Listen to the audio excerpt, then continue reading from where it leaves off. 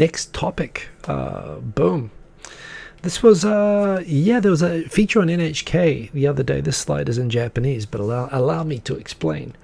Um, so apparently this week actually marked the seven, the 75th anniversary of universal suffrage uh, for where since men and women could vote. Apparently, uh, 1946, which would have actually been during the GHQ occupation of Japan. Uh, right after World War II, uh, women were allowed for the first time uh, equal voting rights to men in Japan. And uh, remarkable statistic there that apparently, um, you know, in 1946, after those first elections, when women were both able to run and vote in uh, the parliamentary elections for the first time, the result was 39 women were elected, representing 8.4% uh, of the diet at the time. Um, zoom forward, of course, you know, 75 years. I mean, uh, so much has progressed, of course, and uh, Japanese society no different. Now there is an astounding growth to 46 representatives representing 9.9% of people in parliament are women. Um, so uh, yeah, some might say that uh, an increase of 8.9%, 8.4% to 9.9% uh, since 1946 means Japan practically hasn't changed since when they just gave women the vote. And you might say that, but you see, if you've ever had a savings account in a Japanese bank, you would understand that, you know, normally interest, I thought it was like a, a prank or it was a typo when they first showed the interest on your post office uh, bank account of 0.00 something percent or 0.0 something percent.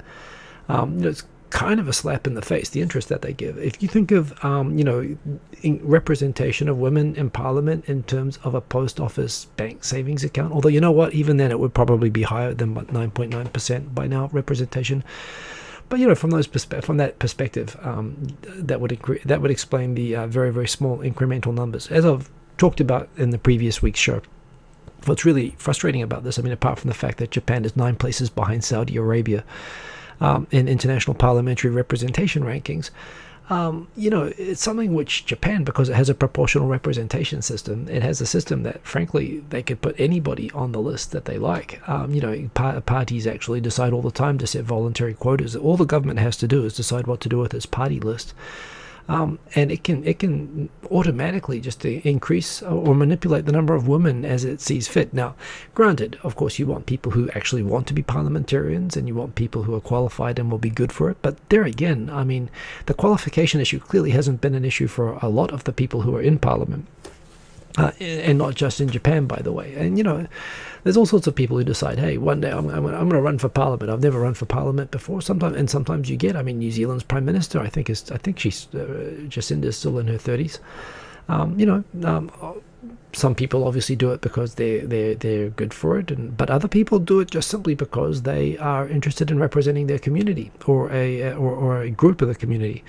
And there are plenty of women who uh, work in, uh, for example, um, NGOs, uh, community sort of charity organizations, who work as civil servants, uh, who are in various forms of public service, um, and you know would have backgrounds which I think they could be picked up for.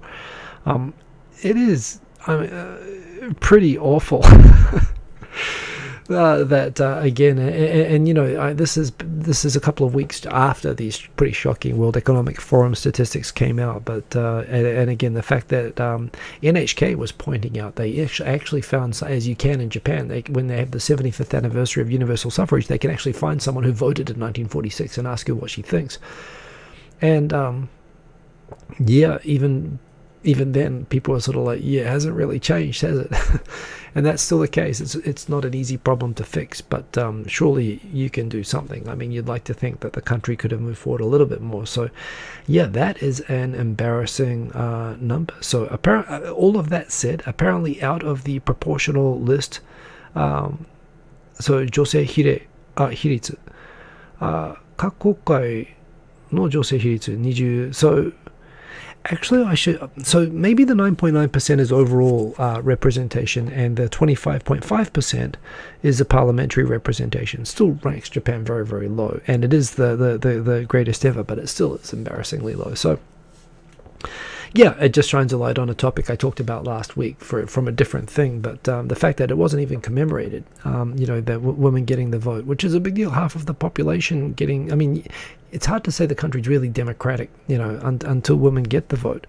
Um, so you know this is kind of the 75th anniversary of democracy in a way. Uh, and i think that's the way that all democratic countries should mark their day of universal suffrage uh, as well as civil rights as well as equal you know basically equal voting rights without discrimination based on race or um, or gender you know which actually and bear in mind, you know, uh, this is not a, a, problem unique to Japan. Gender was generally, I, I, think Ohio was a state was the, the first, and New Zealand was the first country. Uh, we came just after Ohio, um, back in the 1870s.